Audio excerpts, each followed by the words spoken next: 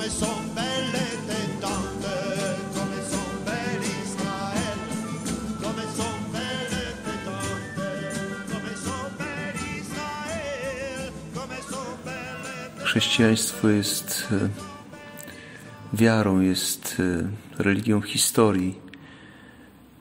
To znaczy ta historia święta, którą Bóg zrobił z narodem izraelskim, potem w tej początkowej fazie z Kościołem, która została zapisana na kartach Pisma Świętego, że chrześcijaństwo widzi, jak ta historia powtarza się w życiu całych narodów, w życiu każdego mm, poszczególnego chrześcijanina.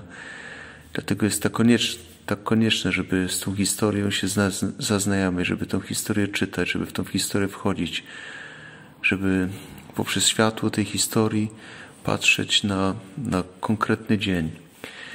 I dzisiaj Pan Bóg e, prowadzi nas historią bardzo trudną.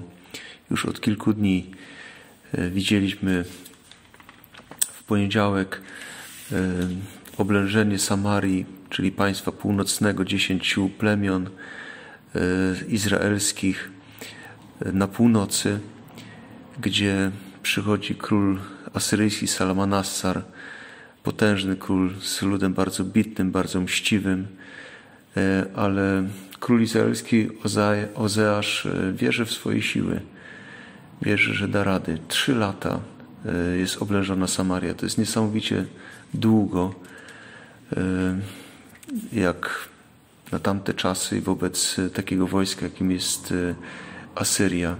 Ale w końcu upadli, w końcu zostali zniszczeni, przeniesieni, e, zabici, stracili e, właściwie na zawsze swoją autonomię, e, swoją em, historię, swoją, swoje bycie jako naród e, wybrany, czysty. Wczoraj było, było czytanie o tym, jak z kolei król, kolejny król asyryjski oblega Judę. Już te dwa e, plemiona na, na południu oblega Jerozolimę e, i wydaje się, że jest niemożliwe, żeby oni się mogli obronić. 180 tysięcy ludzi padło tylko tej nocy, kiedy Pan Bóg przeszedł przez wojska e, asyryjskie. Ale Ezechiasz e, uchwycił się Pana Boga, idzie z tym pismem do Pana Boga, który mu król wysłał, wzywając do e, poddania mia- miasta. Przedstawia to Panu Bogu Pan Bóg patrzy na jego serce, patrzy na jego wiarę, zaufanie wobec, wobec Pana Boga i Pan Bóg robi cud. E, Inaczej, jeżeli to państwo północne, to państwo południowe zostaje ocalone. Wojsko asyryjskie, nawet nie siłami e, Judejczyków, ale zostaje pobite. Nie wiadomo, czy wybuchła zaraza. Cokolwiek by się wydarzyło, to był plan Pana Boga, który Pan Bóg przeprowadzi wobec nieprzyjaciół i oni muszą odejść. Jerozolima zostaje ocalona. I dzisiaj widzimy, jak ta historia idzie dalej. Wydaje się, że, że mm, są rzeczy takie bardzo banalne. Można powiedzieć, że historia wręcz taka kościelna, ponieważ jest składka, jak w kościele, ważna dla niektórych, może najważniejsza część mszy świętej, składka na, na świątynię, na, na budowę kościoła, na potrzeby. I potem jest odbudowa, a więc znowu to, co znamy z naszej historii najnowszej, odbudowa kościołów, remonty. E, Ale Pan Bóg wykorzystuje tą sytuację, żeby e, podrzucić Pismo Święte przy remoncie tego, tej świątyni, tego ówczesnego kościoła. Została odnaleziona Księga Pisma Świętego, Słowo Boże, Pismo Święte. I to e, Pismo Święte jest, jest teraz e, odczytywane. Król każe to, to m, tą księgę, to pismo odczytać i jest dotknięty bardzo głęboko. Nagle przychodzi to światło ogromne z, z, ze strony z tej, tej księgi, że widzi, że cały ten marazm, który jest w, w królestwie, wszystkie te zagrożenia, wojny, to co się dzieje, to jest y, wynik tego, że, że naród wybrany nie jest posłuszny Panu Bogu, że nie, nie żyje e, Pismem Świętym. I teraz y, następuje to, co jest w historii nazywane reformą Jozjasza, że wyrzuca wszystkie Baale, wszystkie posągi innych bożków ze świątyni, pali to wszystko, niszczy, opiera się tylko i wyłącznie na, na Pismie Świętym, na swoje, Słowie Bożym. I Pan Bóg znowu robi cud, bo mówi, że, że widzę Twoje nawrócenie, widzę Twoją gorliwość, widzę Twoją walkę o, o to Boże Królestwo, dlatego możesz być pewny, że za Twoich czasów nie będzie nic złego nic nie, nie dotknie Jerozolimy, nic nie dotknie Judy. I tak się dzieje. E, za czasów Jozjasza e, jest wszystko w porządku, jest e, taka nawet zewnętrzna prosperity tego, tego państwa. Zacznie się trud wkrótce, bo już niedługo po jego, po jego reformie, po jego Y, królowaniu, który jak samo słowo mówi, że czynił to, co, co właściwe w oczach Pana Boga, że Pan Bóg mu błogosławił.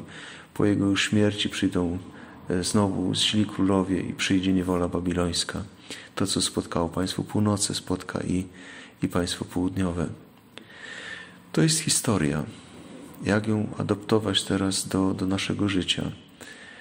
Jest ciekawe, wprawdzie y, dzisiejsza trochę liturgia wycina znowu nam pewne fragmenty. Jest y, dosyć wyraźna cezura w 22 rozdziale, ale warto to przeczytać w całości, bo w tym, w tym całym wydarzeniu biorą udział zwłaszcza e, trzy osoby. Pierwszy to jest, to jest e, arcykapłan Hilkiasz.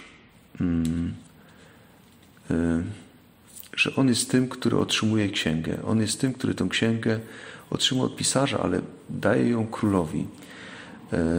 Ma to, to zadanie kapłańskie w sobie. Ma troszczyć się o kult i nie, nie troszczy się tylko o tę budowę świątyni, troszczy się o ten kult wewnętrzny, o nawrócenie Izraela. To zadanie spełnia. Przynosi tę księgę królowi.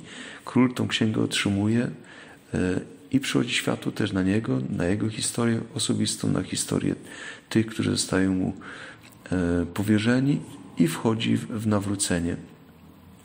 Dlaczego też rozumie to słowo? Właśnie to zostało pominięte, że e, idzie do prorokini, która wówczas była w, w Judzie, prorokini Hulda, i jej każe, każe wytłumaczyć to słowo. Ona mówi co się dzieje, dlaczego tak się dzieje i co powinien teraz konkretnie król uczynić. E, kapłan, król i prorokini. To jest moje życie. To jest życie każdego z nas, chrześcijanina. Bo my w, w Chrzcie Świętym otrzymaliśmy te trzy powołania, te trzy y, władze, posługi, y, trzy w jednym. W chrzcie zostaliśmy e, namaszczeni na króla, e, otrzymaliśmy godność prorocką i kapłańską. My mamy trzy w jednym. To, co oni musieli rozdzielić, to, co musiało współgrać, współdziałać jako trzy, trzy różne osoby, my to mamy już w sobie. Każdy z nas jest e, tym, tym kapłanem, który, który ma otwierać Słowo Boże, ma je dać, dać królowi, który, który ma władzę, żeby, żeby to, to słowo zrealizować i daje, daje też tej, temu prorokowi, który ma to słowo właściwie odczytać, żeby król mógł właściwie też postępować. To wszystko jest w nas. Każdego dnia otrzymujemy właśnie to słowo, porcję tego słowa, żebyśmy mogli to słowo przeżyć. Owszem, można być, e, i przed tym Chrystus przestrzega, można być fałszywym prorokiem dla innych i dla siebie. Te, tych proroków, być tym prorokiem, który źle interpretuje słowo. E, Chrystus mówi jasno: poznacie po owocach. Jak jest drzewo, taki wydaje owoc. Jak jest, jak jest proroctwo, e, takie, takie będą też owoce tego proroctwa. Prorokini Hulda e, przyniosła dobre owoce. Te owoce zostały też pomnożone poprzez działanie króla. My też mamy w sobie, w nas jest to drzewo, drzewo prorockie, kapłańskie, królewskie.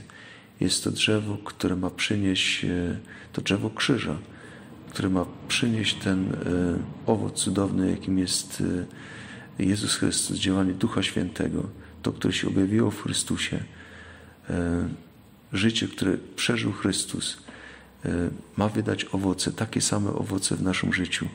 Z jabłoni jest, jest jabłko, z pomarańczy jest, jest pomarańcza. Z, z Ewangelii ma się urodzić Ewangelia. Patrzymy na to, czego nazywa Kościół, na czyny i na słowa Jezusa, jedno i drugie, wzajemnie powiązane, po to, żeby te słowa i czyny również mogły się objawić w naszym życiu.